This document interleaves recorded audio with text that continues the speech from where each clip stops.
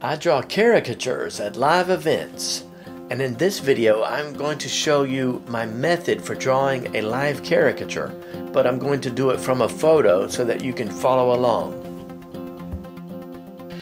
Okay, this is a quick one of Elizabeth Taylor. So I'm just drawing quickly the head shape.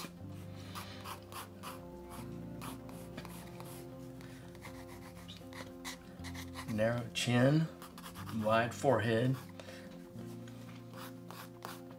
a very tall hair shape.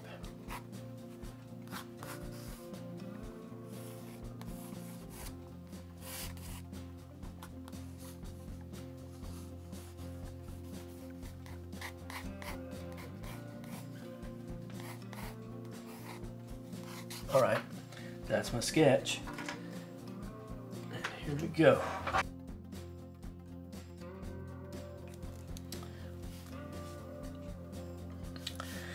Now this eye is partially covered up with the hair and I can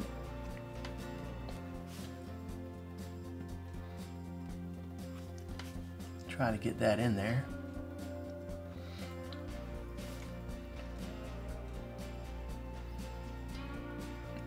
Lots of under eyelashes.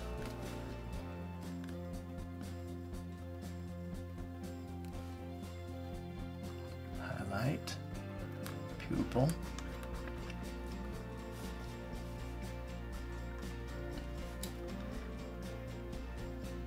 Part, part of the eyebrow.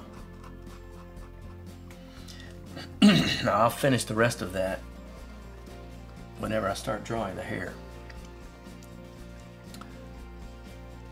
I'm going to just suggest the bridge of the nose. And we're going to get the eye on the other side.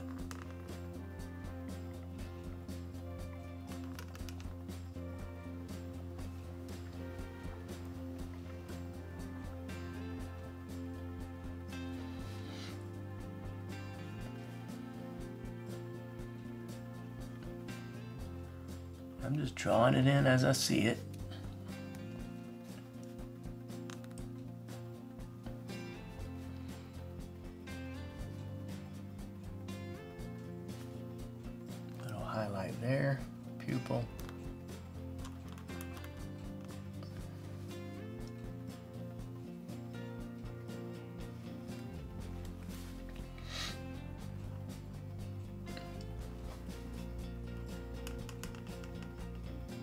I'm just kind of drawing this in at a fairly quick speed.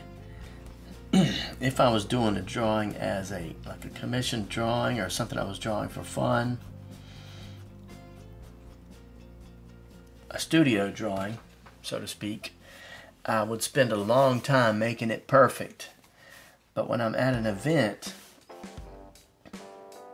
I give myself four minutes or less. I'd love to get it done in 3 minutes and 45 seconds. That way I can get a lot of people at the event drawn.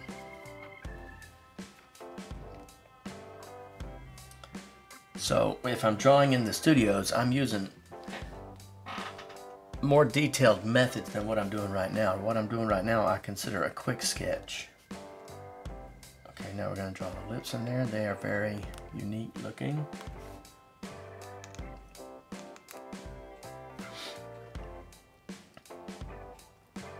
Top lip is a very defined shape like that, sort of an M shape. The bottom lip is much bigger than the top lip and rounded. I can exaggerate that a little bit. You'll notice how I started off the corner thin, got thick, and then thinned out again. There's a tiny wrinkle where the chin touches the lips, and then switch to our big marker. I draw the chin to anchor myself so that I don't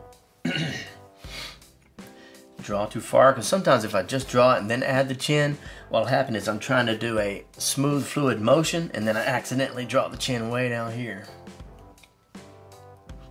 So I just anchor it by drawing that first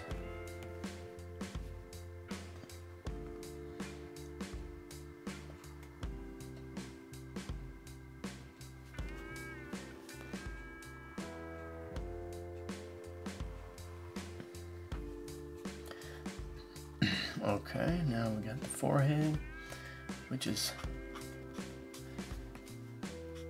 kind of wide, and then we got some curls for the hair.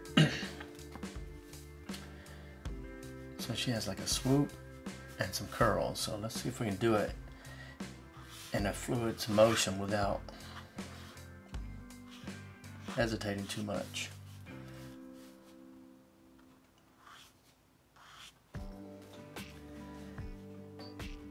That's not exactly what's in the photo, but I kind of messed up, but oh well.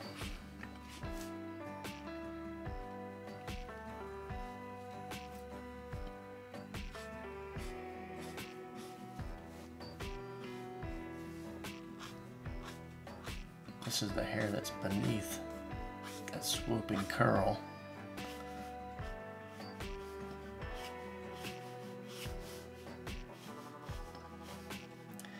Yeah, I messed this up pretty bad, but maybe I can fix it or it won't be noticeable.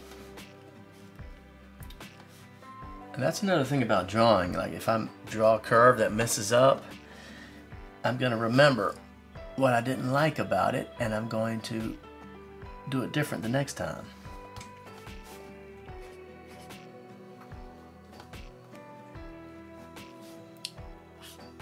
Okay neckline and then the shadows on this side. I'm gonna draw that.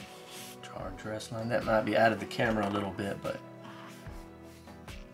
I'm not gonna spend too much time on her shoulders. collarbone, collarbone. Okay, now let's do the top part of the hair. I'm trying to do, like I said, bold, without much hesitation, curves.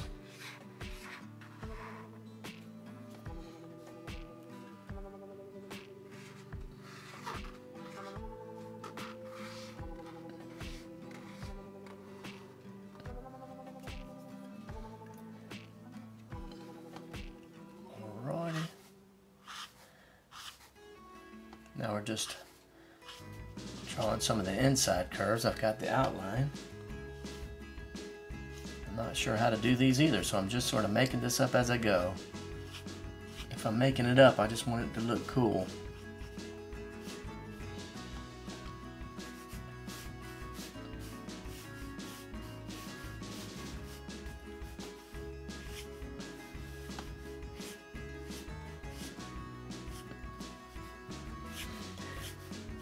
Another way to keep hair looking clean and cool or stylish is to not do a bunch of crisscrossing lines like this in the hair.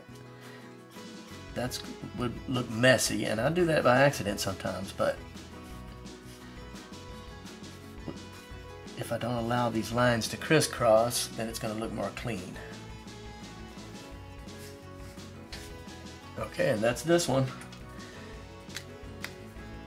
That's more like a stylized sketch rather than a caricature, but I kind of like it. What do you think?